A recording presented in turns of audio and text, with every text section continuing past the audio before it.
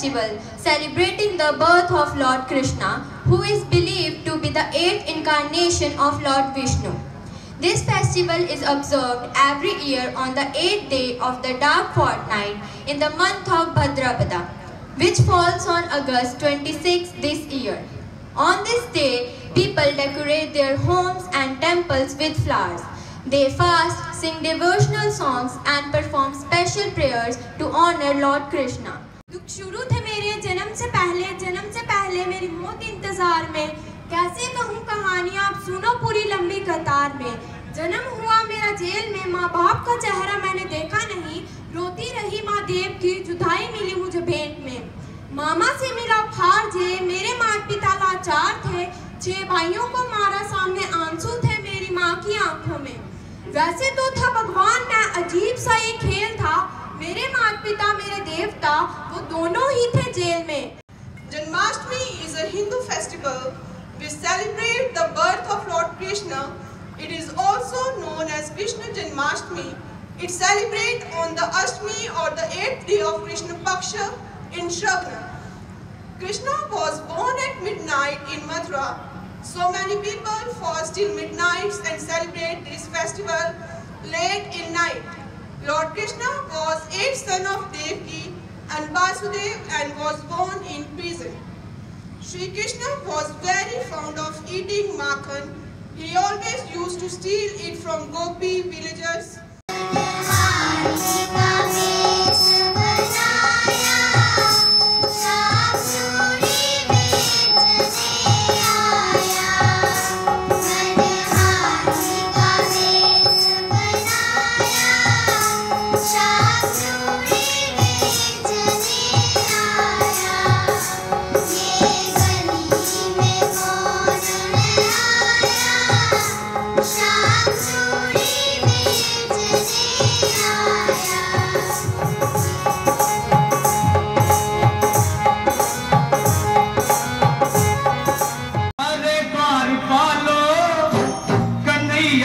कह दो।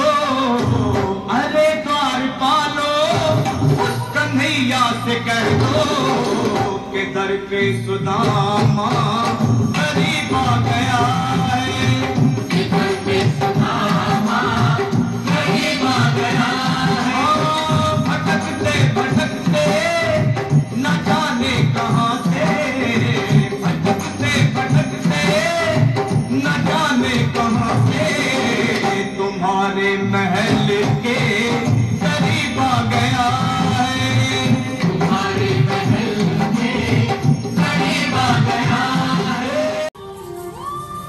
जो है अलबेला मन नैनो वाला जिसकी दीवानी मिलती हर बाला। वो किसना है? वो किसना है? वो किसना है?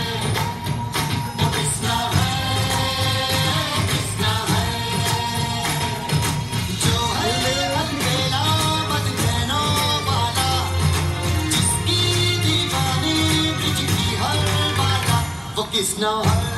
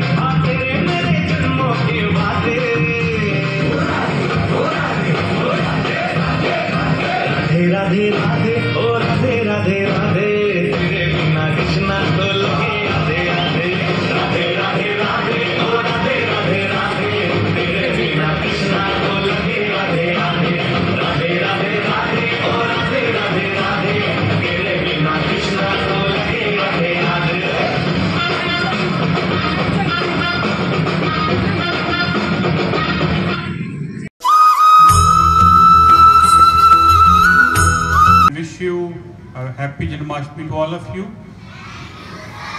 may lord Krishna shower is blessing on all of us on all the school members as well as our family members Shri Krishna इनका जन्म एज यू नो रात को 12 बजे हुआ। कहा हुआ? जेल में। कहा हुआ? इनके पेरेंट्स को, श्री कृष्ण के मामा जी, मामा कंस ने कैद कर रखा हुआ था अपनी सगी बहन को, क्योंकि भविष्यवाणी हुई थी कि उनकी बहन के गर्भ से जो आठवां पुत्र होगा, वो कंस का वध करेगा। क्योंकि कंस राजा था और बड़ा क्रूर राजा था और उसका ये मानना था कि मैं ही पावरफुल हूँ, सब लोग मेरी पूजा करें। भगवान की पूजा नहीं करेंगे, इतना आतंक मचाया हुआ था। तो कहते हैं ना जब धरती पे पाप छाता है तो भगवान किसी ना किसी रूप में जन्म लेते हैं और पाप का नाश करते हैं। जब जब धर्म फैलेगा, तब तब भगवान जो है, गॉड, ईश्वर, अल्लाह, खुदा अपने किसी रूप में आके अपने लोगों का उद्धार करेंगे। तो श्री कृष्ण के जन्म से और उनकी लीलाओं से हम कितना कुछ सीख सकते हैं।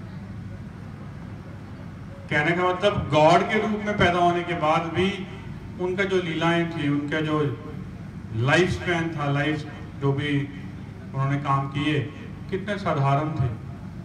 गायें चलाते थे बांसुरी जाते थे।